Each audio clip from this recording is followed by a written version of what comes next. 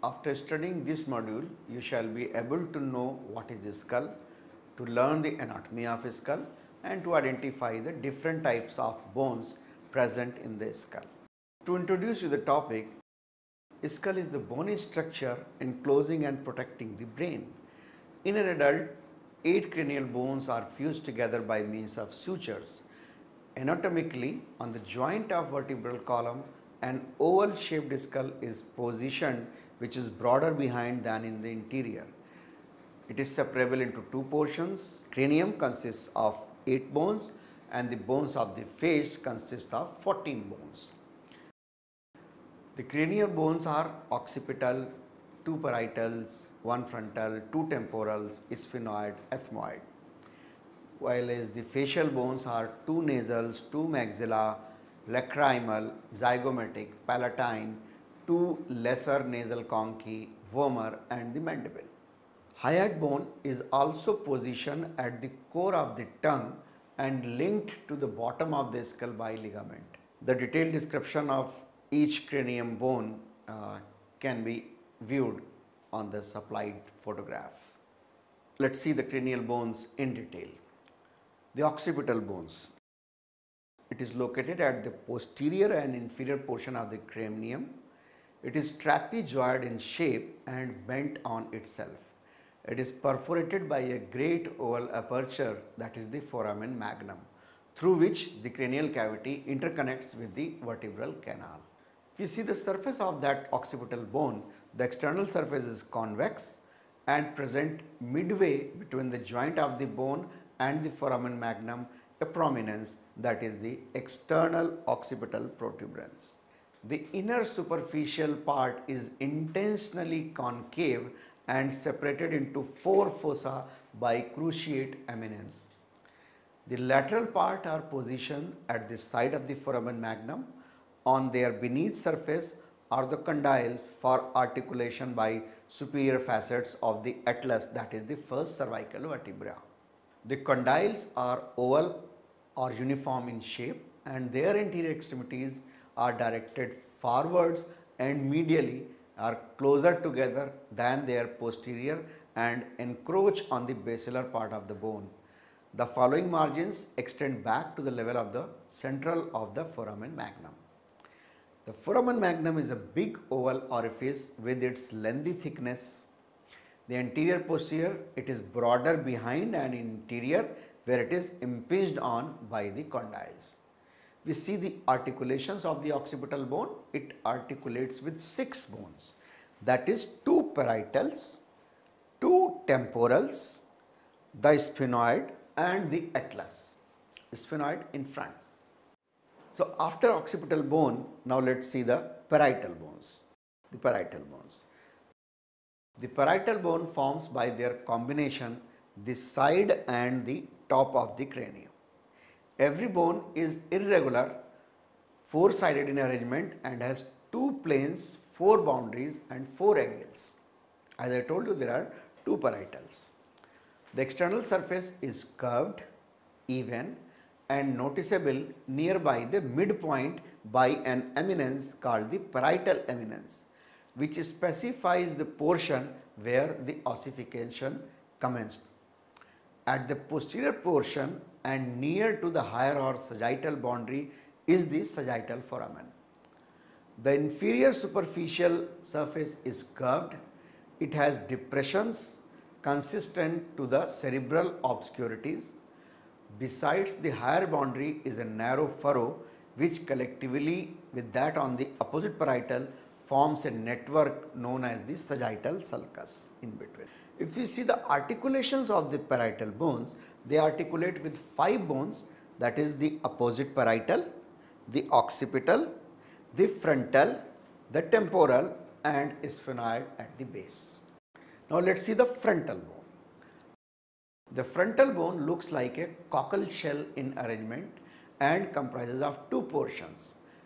A perpendicular part called as the squama in relation with the area of the forehead and an orbital or straight part which goes into creation of the roof of the orbital and nasal cavities.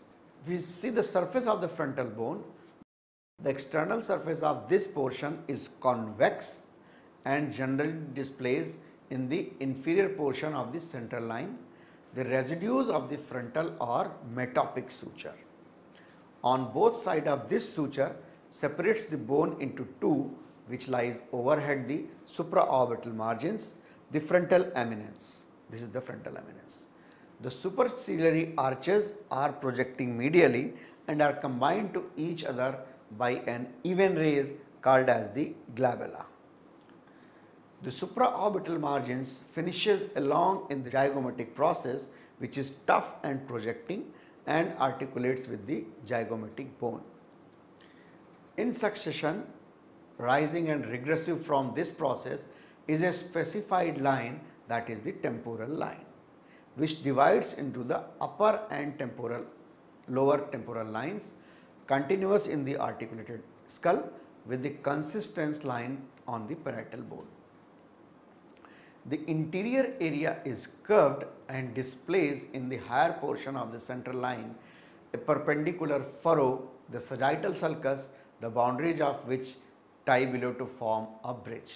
Now let us see the facial bones. The facial bones as I told you are 14 in number.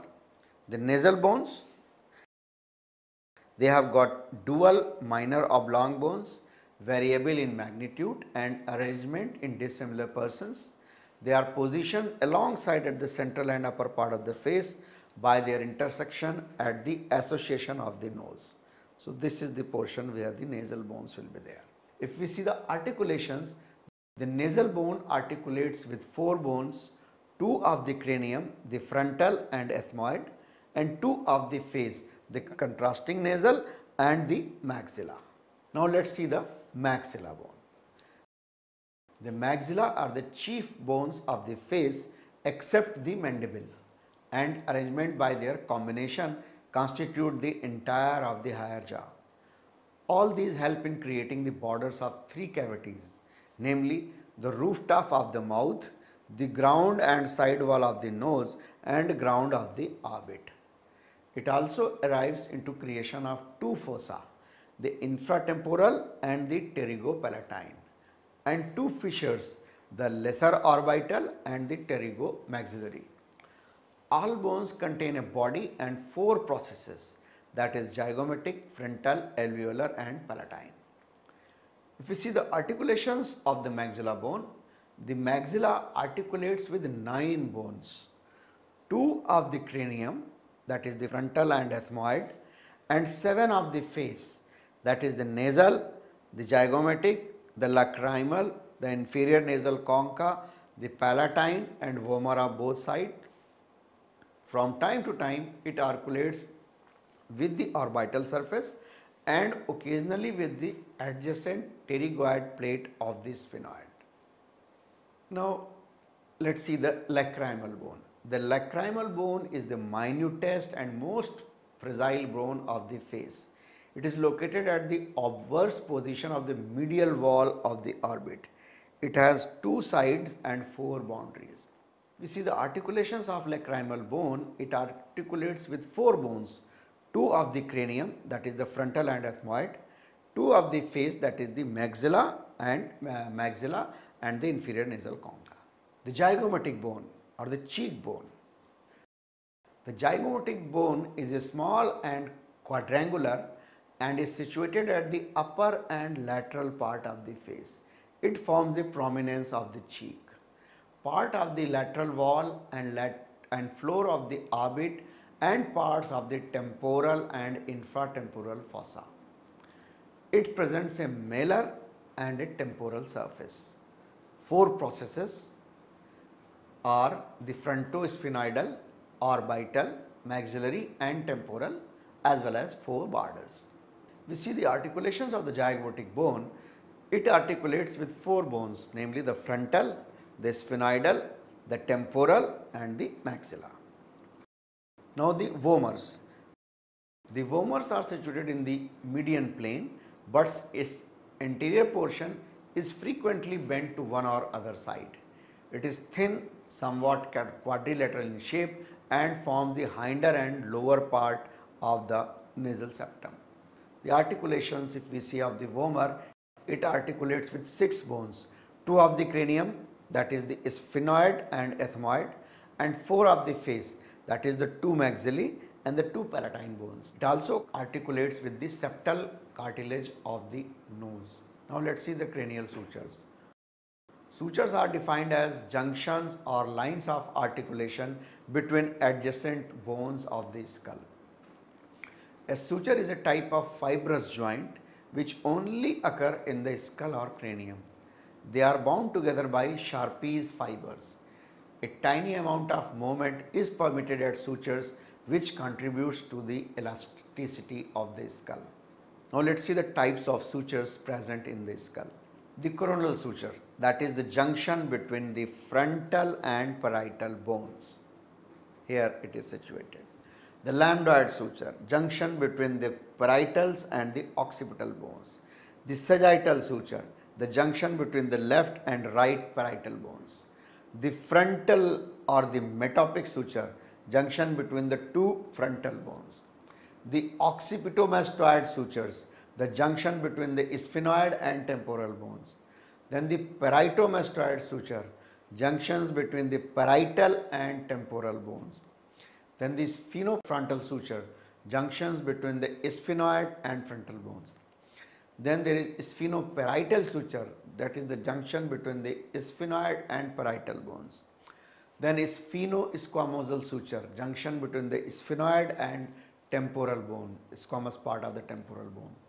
The sphenozygomatic suture, junction between the sphenoid and zygomatic bones. Then squamosal suture that is the junction between the parietal and temporal bones. Then zygomaticotemporal suture junction between the zygomatic and temporal bones.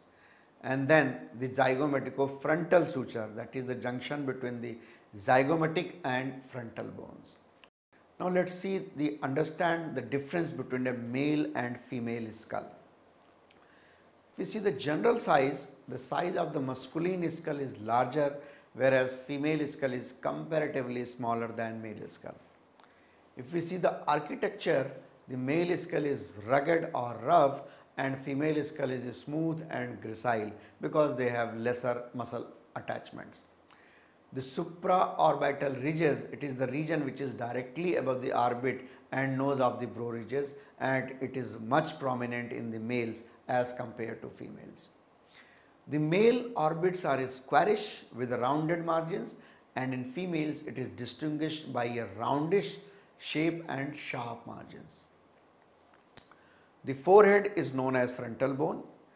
In males, skull forehead is more steeper or sloping whereas in females it is more vertical and rounded. The glabella which is the point between eyebrows where these females used to put kumkum or tika or bindi in, the, in our Indian culture. In males, this glabella is well developed and whereas it is less developed or ill developed in females. We see the zygomatic arches, it is the bony arch below the eye socket forms the fusion of the cheekbone and the zygomatic process of the temporal bone. It is the special characteristic which is more pronounced or robust and tends to extend in males and whereas in females it is less pronounced and tends not to extend beyond the external auditory meatus. If we see the mastoid process which is located in the inferior portion of the temporal bone just posterior to the external auditory meatus, in males it is larger and massive whereas in females it is smaller and more pointed. If you see the external occipital protuberance, it is the prominent feature of the masculine skull and it shows well development whereas in female it is less developed. We see the maxillary bone or the cheek bones in males it shows more massive heavier appearance and placed more laterally and in females it is slender, lighter and more compressed. Then there are certain pathologies in the skull. The most frequent fatal malformation of the skull is anencephaly, a condition in which the cranial vault is never developed and the rudimentary brain is directly exposed. This condition is not infrequently combined with incomplete or whole failure of the closure of the neural canal that is the craniorachis. The skull bottoms show marked deformities of its constituent bones. The skull vault is absent and the orbits may be rudimentary. A common malformation compatible with life is the uni or bilateral absence of combination of the globular and maxillary processes resulting in various degrees of hare lip and cleft palate. The defect is situated between the lateral incisor and the canine tooth. The congenital herniation of meninges and brain will present on the skull bones as round midline defect above the association of the nose or in the occipital area, premature synostosis of one or numerous cranial sutures result in many specific skull irregularities noticeably dissimilar from social or artificial deformations. The increasing pressure of the growing brain leads to separation of open sutures and deep cerebral impressions on the inner table. Now let's see the paleopathology of the cleft lip and cleft palate. These abnormalities are uncommon in archaeological skeletons. However, this does not mean that cleft palate were rare in uh, antiquity. Uh, noted scientist Tretsven found the occurrence of cleft abnormalities among living American Indians in Montana to be higher than non-Indian people. He further notes that many American Indian groups have descriptive terms for cleft abnormalities in their native language. Mortality of newborns with fogged lip and or palate would have been high in antiquity. The defect inhibits effective nursing which would have contributed to early death. Also, many infants with grossly observable deformities would have been killed. Uh, scientist Berndorfer in 1962 has described a female skull about 25 to 30 years of age excavated in southern Hungary and dated to the 15th century AD. The only abnormality of the skull is a poorly developed premaxilla and a small defect of the inferior aspect of the right pyriform aperture. The anterior alveolar margin of the maxilla has a slight indentation suggestive of a cleft lip. The incisors are missing, antemortem and the sockets for their roots are not present. Berndorfer rules out gingival atrophy following antemortem loss of the incisors because the remaining teeth are normal. He does not consider cultural artificial extraction of the teeth as a possible cause of the slight defect in the alveolar bone. However, the abnormality of the pyriform aperture and subnormal development of the premaxilla would support a diagnosis of slight cleft lip. Brooks and Hohenthal in 1963 report the presence of cleft abnormalities in three indigenous skulls from two archaeological cemeteries in California, United States of America. Two of these skulls are from Newark site on the southeastern shore of the San Francisco Bay. The skull came from the late middle horizon level dated uh, by carbon 14 dating to 2340 years before. The skulls are stored in the Museum of Anthropology at the University of California, Berkeley, USA. The third skull is from a site in the Sacramento County in California and is dated between 2000 and 4000 years from a male about 30 to 40 years of age. Both the maxilla and palate have cleft defects. The upper right incisors were missing antemortem. The mandible is, was reported to be normal and one skull is also male with an estimated age between 22 and 25 years. The nasal bones are abnormal but the picture is obscured by postmortem damage. Both the maxilla and palate have cleft type defects. The extensive nature of the facial abnormality added to the general porosity of the bones of the forehead and face are atypical of cleft palate and lip. The author suggested the possibility of injury although they concluded that cleft abnormality is the best interpretation of the defect. The cranium is a female skull between 25 and 28 years of age. The skull has a marked unilateral loss of bone of the alveolar portion of the right maxilla. There are also extensive inferior bony projections on the maxilla near the suture with the zygomatic bone. The authors concluded that this is a case of unilateral hare lip. Such a possibility should be kept in mind in studying pale paleopathological specimens with abnormalities of the maxilla and palate. Derry in 1938 reported two examples of agenesis of the premaxillary region of the maxilla.